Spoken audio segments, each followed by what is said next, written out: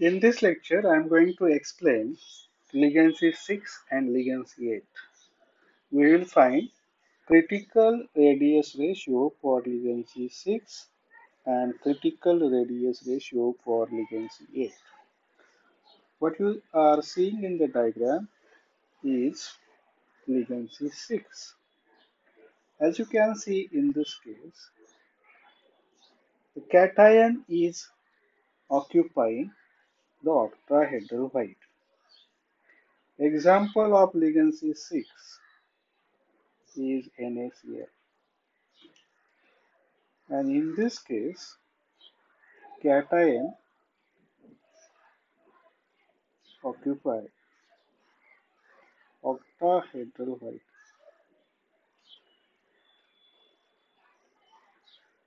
You can look at these two diagrams. In one diagram, in first diagram, we can see that the octahedral void is formed between three anions in one plane and three anions in another plane. Okay, these three anions in one plane and these three anions in another plane, when they come close, they form octahedral void at the center. Or you can see in this second diagram, the cation, this is the cation, that cation is squeezed into four anions, one, two, three, and four. These four anions in one plane. Fifth anion is in upper plane and the sixth anion in lower plane. So this cation is squeezed into four anions in one plane. Fifth anion is in upper plane and sixth anion is in the lower plane. So when they when this sits here, they form a octahedral void at the center. Now in this case, we will consider only these four anions, 1, 2, 3, 4 and redraw the diagram separately which is over here. As you can see that the central point is octahedral void in which there is a cation and this cation is in contact with all the six anions out of 6, these 4 are in one plane, one on top and one at bottom, below the plane. But we don't have to show the anion which is on top and which is at bottom. We can show only these 4 anions which are in contact with each other as well as they are in contact with central cation.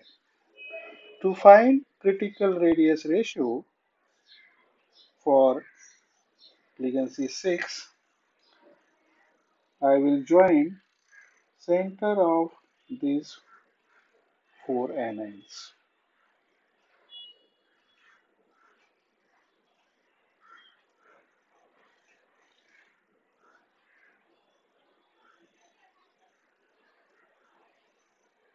Which is forming a square. Okay, this will form a square. A, B, C, D. So this A, B, C, D is the square.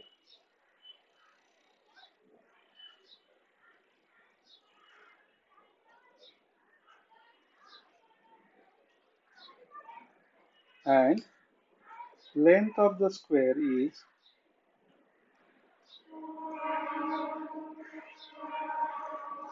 is twice the radius of anion. All lengths are same. AB, BD, BC, sorry, CD and AC. That is equals to twice RA.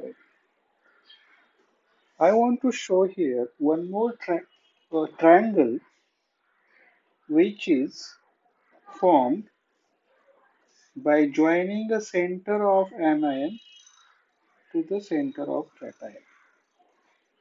And then I will draw the contact point of these anions and center of cation. Let's say this point is D here and this point is E. And consider triangle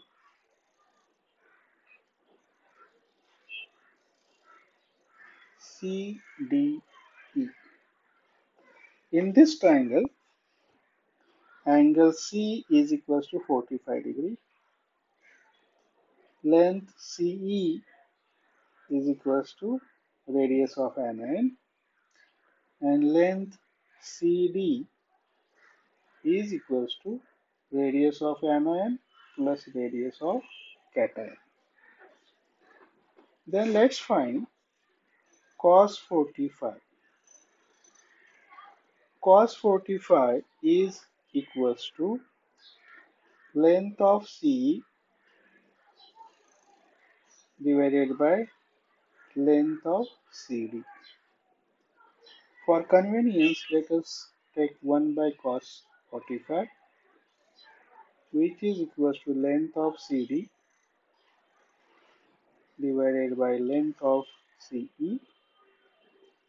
We know that length of CD is RA plus RC and length of CE is equals to RA and 1 by cos 45 is equals to 1.414. This we can simplify further is equals to 1 plus RC upon RA or RC by RA is equals to 0.414. So this is nothing but critical radius ratio for ligancy 6 okay which is 0.414 it means that this ligancy 4 sorry ligancy 6 is possible when RC by RA is in between 0.414 to 0.732. 0.732 is critical radius ratio for higher ligancy and the higher ligancy is 8. Ligancy 6 then ligancy 8. As we saw ligancy 5 and 7 are not possible. Then we will study the ligancy 8. Ligancy 8 the example of ligancy 8 is cesium chloride. We already studied this cesium chloride in which cesium is a cation which is surrounded by 8 chlorine anions. And you can see that diagram like this. In one plane there are four the cavity is formed. That cavity is occupied by cation and in another plane there are four anions. When they sit on each other, they form the cubic unit cell. Okay, what you see is cubic unit cell in this case. And in this case, cation is at body center. And this is the critical condition. It means the cation is, this cation is in contact with all the eight anions and all the anions are in contact with each other along the edge. Let me show separate diagram for that. Here you can see I have shown only three anions. This is the center cation. Along the body diagonal, anions and cations are in contact with each other. We know that body diagonal for cube is root 3 RA. And along this body diagonal, cations and anions are in contact. So this is equals to twice the radius of anion plus twice the radius of cation. This is our one equation 1. Then as you can see here along the edge which is A, two anions are in contact with each other. Oh, this is not root 3, this is root 3A. Root 3A is equals to root 3A is the body diagonal and that is equals to twice the radius of anion plus twice the radius of cation. Now this A is also equals to twice the radius of anion. This is equation 2. So anions are in contact with each other along the edge. Let us solve this two equation. We will replace this A with 2RA. So in this case, root 3 into 2RA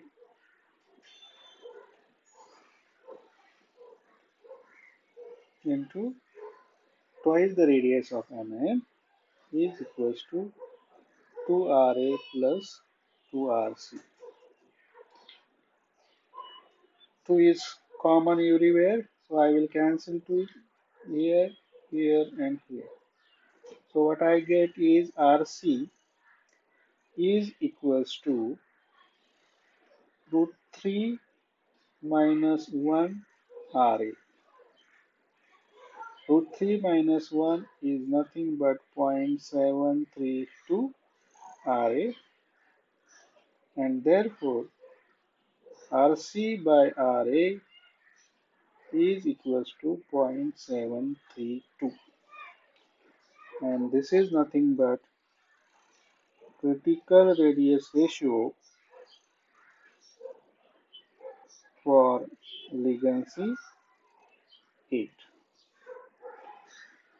and ligancy 8 is stable in a radius ratio of cation to anion in the range 0.732 to 1 okay. Now this is 1 here. 1 means rc by ra equals to 1 it means that rc is equals to ra radius of cation is equals to radius of anion no such example is available for ionic crystals. But if you take HCP hexagonal close packed or FCC face center cubic metals. And the structure they form will have this ratio equals to 1 radius ratio.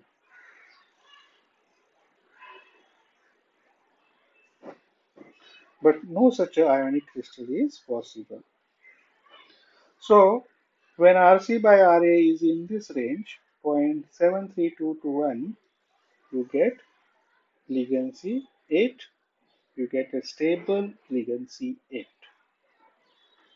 now while studying this we observed that I already explained you why ligancy 2 not possible